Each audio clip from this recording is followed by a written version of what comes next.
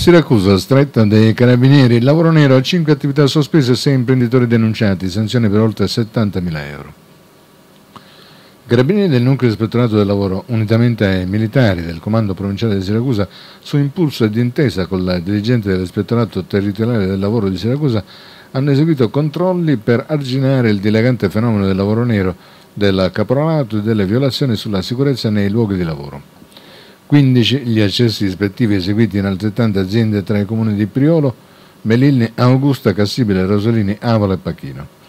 Sono state esaminate 62 posizioni lavorative, di cui 22 sono risultate irregolari sotto il profilo contributivo e retributivo. I 15 lavoratori in nero sono individuati nel corso dei vari controlli, due sul totale di 7 occupati in un supermercato, uno sul totale di due manuali in un cantiere edile, 12 sul totale di 15 braccianti in tre diverse aziende agricole. Tra le 15 ispezionate per 5 aziende è scattato il provvedimento di sospensione dell'attività imprenditoriale. Si tratta di un supermercato, di un'impresa edile e di tre imprese agricole. Nei confronti di 6 datori di lavoro è anche scattata la denuncia in stato di libertà per diverse violazioni in materia di sicurezza sul lavoro che riguardano la mancata redazione del documento di valutazione dei rischi, i ponteggi costruiti in modo non conforme alle norme e l'omesso coordinamento tra lavori eseguiti nello stesso cantiere da più imprese.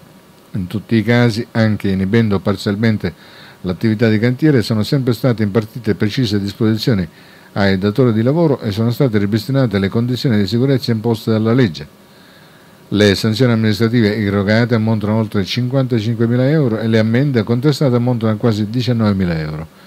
I controlli dei carabinieri del nucleo ispettorato del lavoro proseguiranno per garantire il rispetto dei contratti di lavoro, ma soprattutto per conseguire un più elevato livello di sicurezza per i lavoratori impegnati nei settori produttivi a più alta incidenza di infortunio come quelli del settore edile e del settore agricolo.